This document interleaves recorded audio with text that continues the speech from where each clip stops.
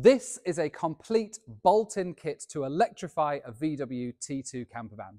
Welcome to EDUB Services and today on this extra special video we are going to be talking you through what you see before you. This is a fully finished 10 years in the making electrification kit for a classic VW camper van. We're going to go through this in detail and we're going to talk to you about the availability to yourselves if you have a vehicle here in the UK or if you are one of our worldwide partners where we can ship this kit to you anywhere in the globe. My name is Kit Lacey, director and founder, and let's see what makes this electric conversion kit so special.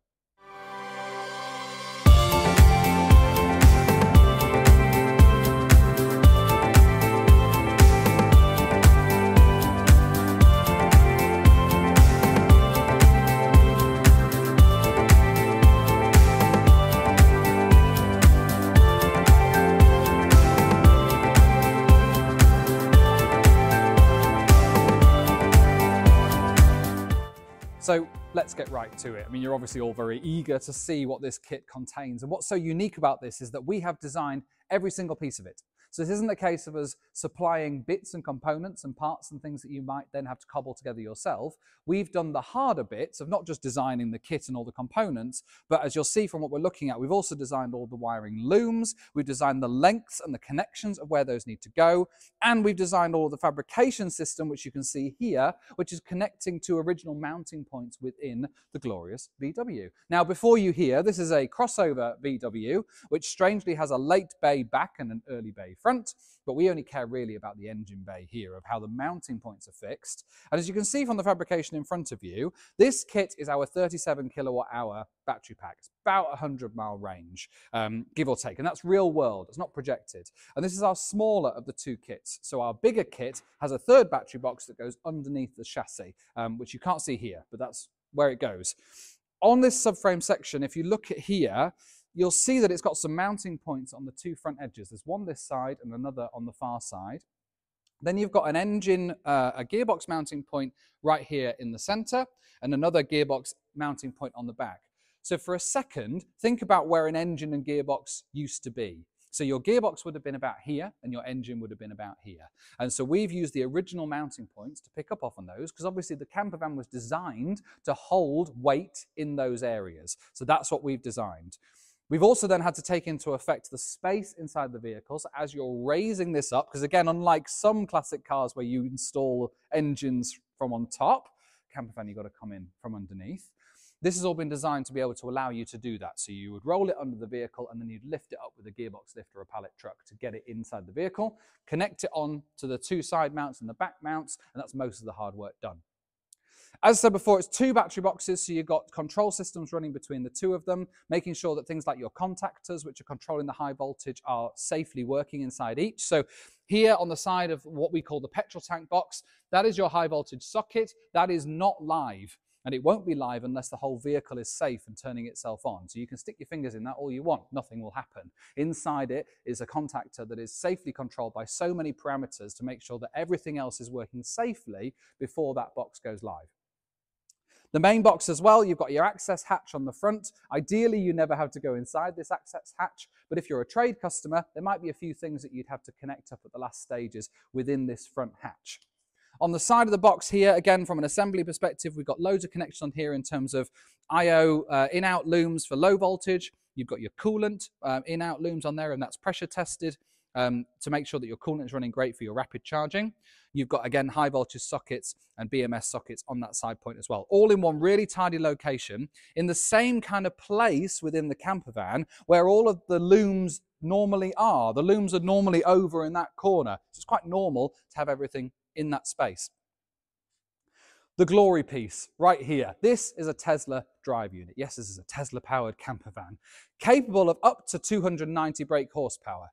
That's a silly idea. Don't turn it up to 290 brake horsepower. You will break something, either yourself or the vehicle. So, when these are supplied, they are obviously out of old Teslas, but the units themselves will last forever. Um, a, a, motor and a gearbox, as long as it's kept lubricated, don't wear down unlike a, uh, other parts of a vehicle.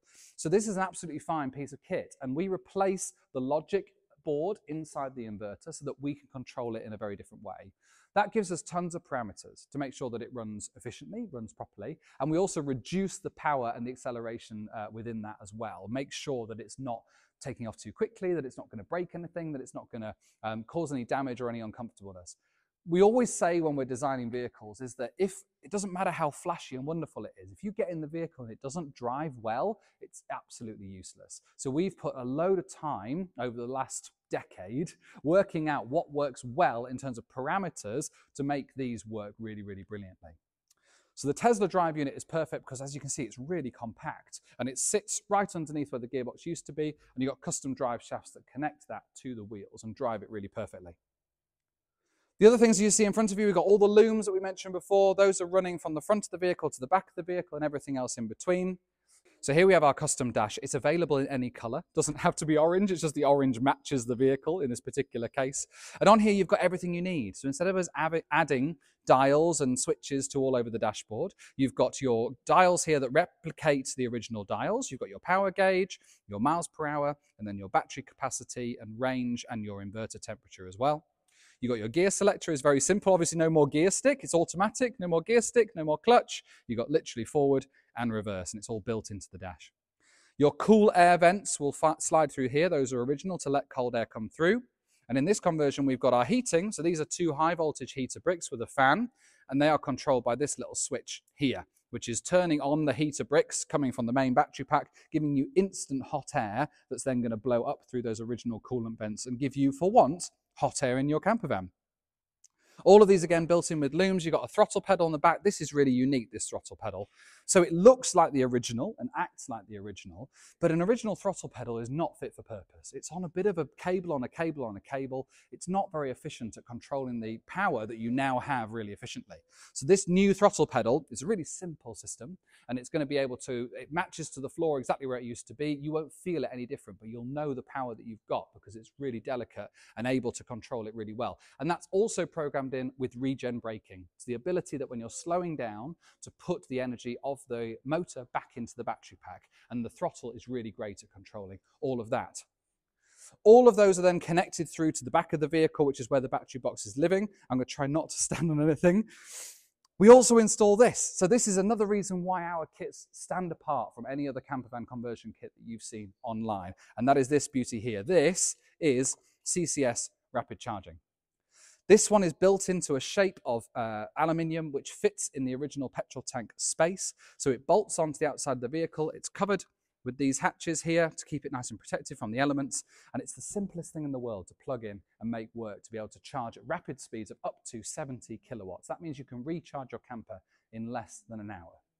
So a CCS stands for combined charging system because it's not just doing your DC rapid charging, but it's doing your AC home charging or destination charging as well. You may have spotted on the subframe here that the onboard charger is mounted as part of the fabrication system. And that deals with your onboard AC charging, which will recharge this particular camper van in around four to five hours. It would recharge our bigger camper vans at again the seven kilowatt speed in around eight to nine hours.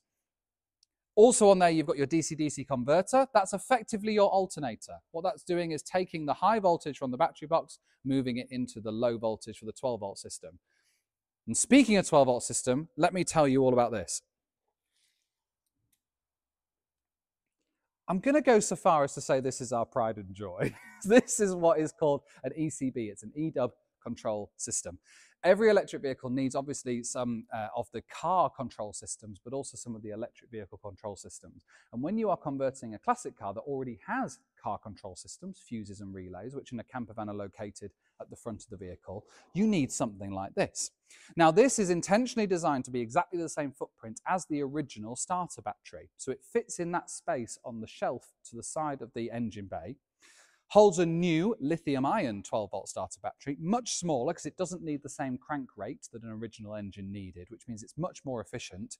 Plus, with it being lithium ion, if there is any problems of parasitic drains or anything added to the system, even though we've put loads of control systems in to stop that from happening, if this ever does discharge by a mistake within leaving things on, then actually at about 10 volts, it'll turn off it won't damage itself by going below 10 volts, which a, lead acid battery would do. If you self-discharge or if you discharge a lead acid battery, then you've got to throw it away and start again. Not with this. This will last you forever. Also within here, you have your isolator if you're going to leave your camper van for many weeks or months unused, which is reasonably common with camper vans over the winter months. And then all the clever gubbins underneath here. Now, what these are connected to is mostly around safety to do with the battery management system that's inside the box. There are loads of battery management systems available on the market. We choose one of the best, which is an Orion system. And we do that, it's probably a bit overkill for what's needed, but we do it because it's got so many safety parameters that allow the system to work incredibly safely. And it means that we can program a lot of it and kind of customize it to make sure it just runs great. And that's what all of this does as well. So inside here are tons of fuses and relays that relate to all of our systems. Obviously fuses to keep everything protected but relays in there to really accurately control what you can use when. So if the battery management system, for example, picks up a particular error within the system or doesn't like the way that something looks, then it will stop you from doing other things. And again, likewise, it'll only let you start to do certain things when it's taken care of all the rest of it. Now, if you've driven an electric car before, if you've driven an EV before, then all of this stuff happens behind the scenes. You turn the vehicle on, and within three seconds, it's finished all of its pre charge circuitry, and you're away to drive, and you never know about it. But I'm just kind of letting you know that we know about it, and we've taken care of it. And it comes in this tiny little box. So we're very, very proud of that system. But as I said before, the DC DC converter is keeping that topped up. Every time you've got the ignition turned on or you're charging, it will keep this topped up as well. Now, the charging system when we designed our battery management system profile, we were very aware that a camper van is very unique in how it charges. It's not just charging from rapid chargers or uh, destination chargers, it's charging from campsites. So along with your conversion, you are given a charging cable that connects to a campsite plug. In the UK, that's a commando blue circular socket. And on that cable is a little brick that's a control brick that actually intelligently changes the charging speed depending on what you dictate. Now, most campsites in the UK have an average of 10 amps of supply. If you try and pull more than 10 amps, then you're going to trip the system. This brick on our charging cables that are provided with your conversion let you set the rate of charge. So you might go to a super fancy glamping site that's got 16 amp supply. Wow, you can change the brick so it can charge at that speed. Likewise, you could go to a really rural site where the electricity isn't that great, but you're staying there a few days, you're staying overnight, so you can turn that down all the way down to 6 amps if you need to, which means you're at least still getting some power in the vehicle. That charging system also allows you to turn on, again using the ECB system, it turns on tons of other stuff. So it allows you to turn on things like your display, so it can show you your live charging speed. Also lets you turn on your stereo system, so your stereo isn't going to drain your battery because it's charging up your 12 volts. And also we can set it to power loads of other stuff internally. Many of our conversions, especially if they're camper vans, have induction hobs fitted inside, which lets them use the main battery pack that you have here to then power an AC induction hob. We will go into that in more detail in probably another video because it's too much for this one. But just know that all of your power use, even off grid, is available with additional things to an EDUB conversion pack.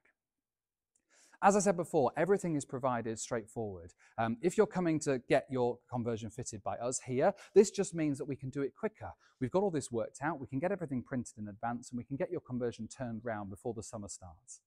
If you're a trade customer and you're looking at supplying EDUB conversion kits to your customers, then it means that your job of doing that is as simple as possible. Also included in that is you get tons of support. So we are not just going to be shipping you a kit and then never speaking to you again. We're lovely Yorkshire folk. We are going to be on the end of the phone uh, giving you uh, specific support, not just initially with the training to get the conversions sorted, um, but also with any aftercare support that comes with that as well. And please, if you've got any questions about the exact specifications of the aftercare support package, then get in touch, head to our website and contact us with the form there. But as we said, we've mapped all of this out so it fits through the vehicle. We've done it all to DVLA specification as well, so we're not modifying the vehicle anywhere within the chassis or the monocoque. That means that if the DVLA come out and start to ask some questions, which I will be honest with you, has never happened with one of our camper vans. We've had DVLA inspections on other conversions, never with a camper. But if it was to happen, you are, can be rest assured that this is going to pass no problem because it's attaching to original engine mounting points and it's not going over the points system that means that you have to change your registration. So as far as the vehicle's concerned, we give you a piece of paper that says that it's now registered as electric. You send off your V5, change the fuel type from petrol to electric, and that's it. any other benefits that you get from electric, such as, I don't know, there might be free parking in some places or ULEZ zones, they all get taken care of without you having to think about it. That's the only thing that you guys need to do. Insurance, again, with camper vans, having an electric conversion, most insurers we speak to really couldn't care less. All they care about is the value of the vehicle and whether that's made a significant difference. So you can de declare to the insurance company how much your vehicle is now worth with an EDUB conversion connected to it, and they will cover you for that amount. We've had some great success with Just Kampers Insurance, uh, Brentacre Insurance, Alan Boswell, some of the greats um, are all very familiar with classic car electrification insurance. So don't let that concern you at all. Thank you so much for watching. It's been great to show you the developments that we've made here at EDUB Services. If you're interested in an electric conversion for your Type 2 camper van, then please get in touch. Our website is edubconversions.co.uk, where you can find loads of information in our learning centre and you can contact us to discuss your goals for electrification.